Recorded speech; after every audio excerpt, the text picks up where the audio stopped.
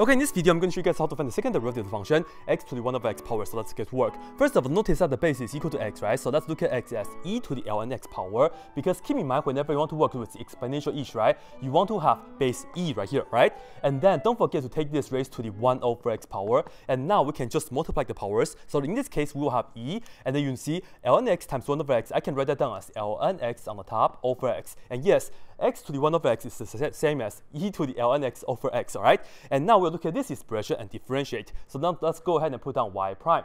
So right here, you know whenever we differentiate e to the something, the function part right here you place first. So we write down e to the ln x over x. And now we have to use the chain rule. So we are going to multiply by the derivative of this guy right here. So you see, that's the quotient. We have to use the quotient rule. So first of all, let's square the denominator. So that's going to be x squared. And then put down the denominator right here, multiply by the derivative of the top, which is going to be 1 over x. And then minus the top function, which is ln x. And we multiply by the derivative of the bottom, which is just 1. And now, if you look at this right here carefully, e to the ln x over x is just the original, namely x to the 1 over x power times this guy right here. We can simplify that. This times that is just 1 minus this times that is just ln x over that's x squared, and then we are done. That's the first derivative. And of course, to get the second derivative, we just have to do this again. And notice that we have a product right here, so we have to use the product rule, right? So let me put down the first function, and then we'll multiply by the derivative the second, and the derivative second, right here, we have to use the quotient rule, so let's go ahead and do that again. So I will have to square the denominator, so this is x squared, and we square that,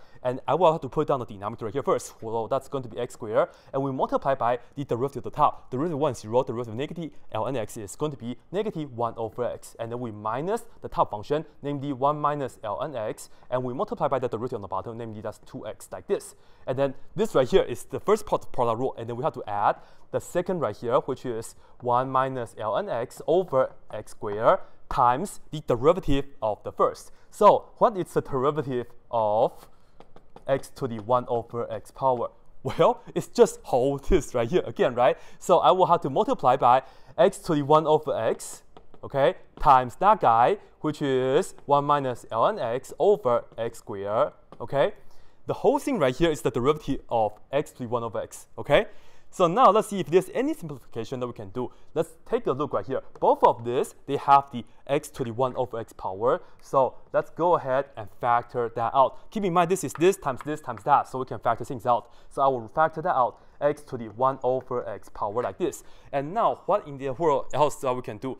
Well, if you look at this guy, uh, let's see, we have, this is going to be negative, this times that is just going to be x, and then we can distribute this backwards if you like, and that's negative as well, so don't forget to distribute the negative as well. So we'll have negative 2x, and then this is going to be negative times that, which is going to be positive 2x ln x, right? And then this is over x to the fourth power. Okay, so that's the first part that's remain, and then we have this times that, right? So we can just write that down as plus 1 minus ln x square over x square square, right? Right? Because of this times that remaining for the second part. And of course, you can do more, and this you can expand it. If you expand it, this is going to be 1 minus 2 ln x plus ln x in the parentheses and square that, okay? And then just erase the 2 and make it better.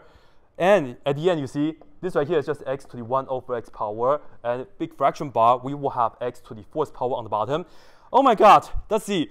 Um, let's put things down in what order, I don't know. So let's perhaps write this down first because this is cool ln x square, right? So I put this down first, and nothing really else I can combine. So I will just write down this guy next, well actually not this guy next, plus 2x ln x, and this guy, which is negative 2 ln x, and then let me, well, okay, this and that together, this is negative 3x, like little bonus.